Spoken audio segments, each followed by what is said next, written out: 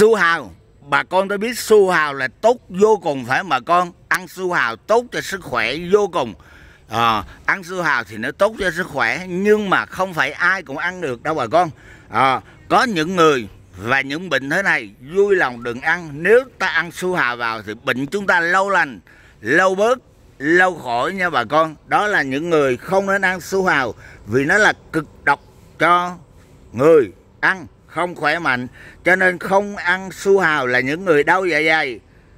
Trẻ em bệnh tuyến giáp wow đau bụng à, tiêu hóa. Đó bà con nha không ăn su hào vì su hào nó cực độc cho người nó cực độc cho người đau dạ dày.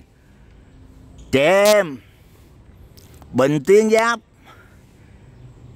đau bụng và hệ tiêu hóa bà con ạ. à đó cho nên bà con ta vui lòng nhớ nhớ là đừng ăn nha bà con.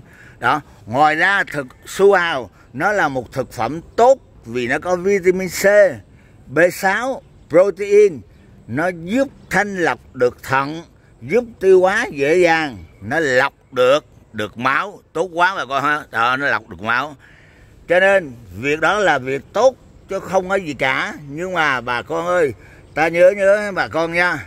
À, nó tốt à, nó tốt cho thận à, tốt cho tiêu hóa. Nó dễ dàng tiêu hóa và nó giúp cho việc thanh lọc máu. Bởi vì nó có vitamin C vitamin B6 protein. Bà con ạ à. nhưng mà không phải tốt là chúng ta ăn bao nhiêu cũng được đâu nha bà con.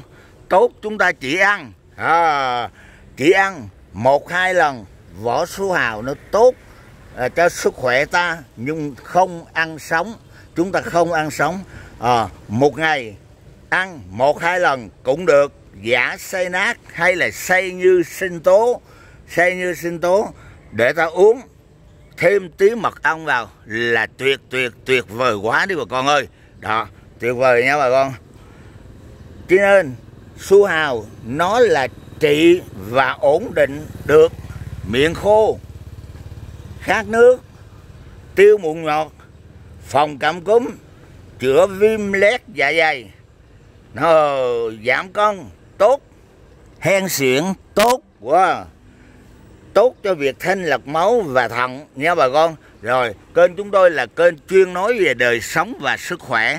Bà con thấy thì vui lòng chia sẻ để mọi người cùng nhau khỏe mạnh. Vui lòng chia sẻ để mọi người cùng nhau mạnh khỏe và đăng ký kênh để ủng hộ cho chúng tôi ăn cái kênh ủng hộ chúng tôi thân ái. Kính chào kính chào. Nào nào. Tạm biệt.